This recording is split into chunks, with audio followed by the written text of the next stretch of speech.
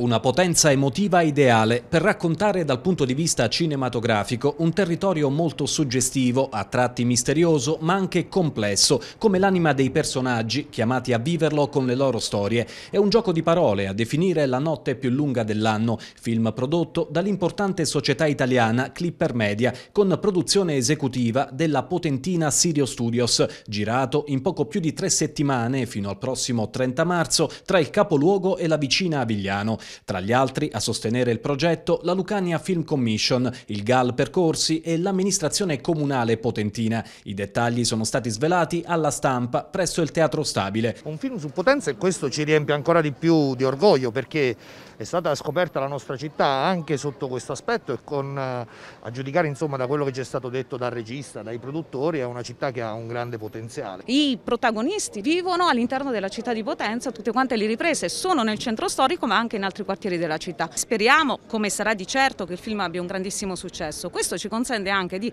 cavalcare l'onda di quella che è una loro constatazione, cioè come set cinematografico Potenza risulta davvero davvero molto interessante. Sicuramente un ritorno d'immagine a livello nazionale e internazionale per la città. Potenza si presta tantissimo a livello cinematografico e quindi è stata veramente un'occasione importante eh, diciamo, per tutti, ecco, per la città, per noi. La pellicola, attesa nei festival, conosciuta al grande pubblico entro dicembre, vede intrecciarsi diverse storie, fatte di ansie e speranze, scritte da Lucano Andrea Di Consoli appositamente per l'ambientazione a Potenza. A dirigerla il regista Simone Aleandri, già in Basilicata per il documentario Mater Matera. Le preoccupazioni sono molte, siamo tamponati continuamente, gli ambienti devono essere sanificati, questo ovviamente rallenta i tempi e aumenta i costi della produzione. Ancora devo finire di girare, però sono molto contento, ho ricevuto molta ospitalità e calore da questa città. Nel cast Massimo Popolizio, Renato Carpentieri, Matteo Carlomagno, il promettente Luigi Fedele ed i grandissimi Alessandro Aber e Ambra Angiolini. È un film particolarmente bello